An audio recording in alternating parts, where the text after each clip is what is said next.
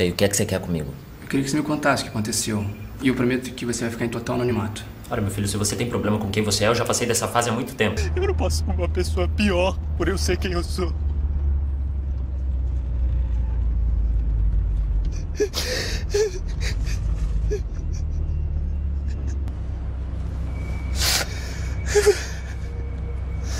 Acho que com calma a gente pode resolver isso. Chupa! O que tá acontecendo aqui? Olha só, vamos resumir isso daqui. Você vai prender esse tarado?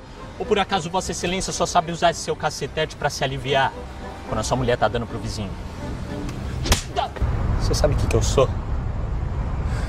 Eu sou um putator. Então você faz o seguinte, você vai curar esse seu rabo chupando uma rola bem grossa, seu filho de uma puta. E ó, se liga, hein, idiota. Se liga, porque minha namorada e meu namorado se adoram. Tá? Meus pais amam os dois. Eu sou feliz pra caralho. Filho da puta! Gatinha do rei pro zumbi. Hum. Eu, El Rei de Portugal, faço saber a voz. Capitão Zumbi dos Palmares. Ah, tá legal! Tá com medinho de palmares, Reizão? Sinto. Meus pais até hoje não deixam eu dormir depois da meia-noite. Eu, eu, eu quero usar o controle remoto porque eu também apresento o programa, afinal de contas, o controle hoje é meu. O Brasil recebeu vários Nikkeis que comiam como reis, tá ligado? Sashimi, misoshiro e salmão truta. Esse é o rap da imigração. Storymanos e storymanas, vocês se lembram daquele velhinho, gordinho, baixinho, fofinho, de olhos azuis, assim, bochechudinho, do Dom Pedro II? Então, esse cara foi preparado pra ser um imperador perfeito, assim, justamente o oposto do seu pai. Um moleque de apartamento, né? Nesse caso, de palácio. Mas nós continuamos aqui na resistência. Vocês consideram um herói?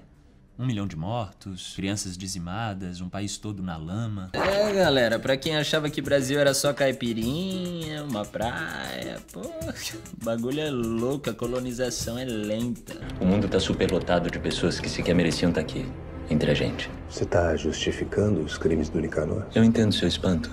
Nem todo mundo consegue compreender a importância do que ele fez. Não existem inocentes nesse mundo de depravação e pecado.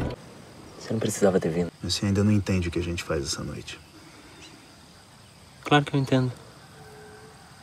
Somos os heróis. Por quê? Porque é isso que a gente faz aqui!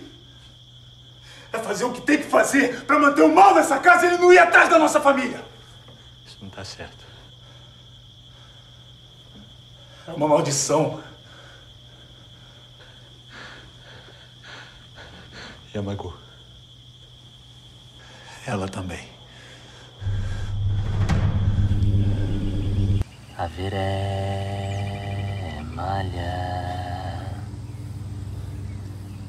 Haveré malha. Mudobó. Mudobó e da ofum e da uri. Haveré malha.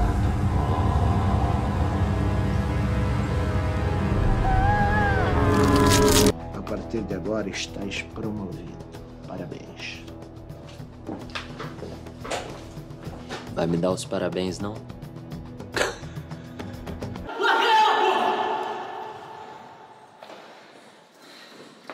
De maluca! Gente estranha.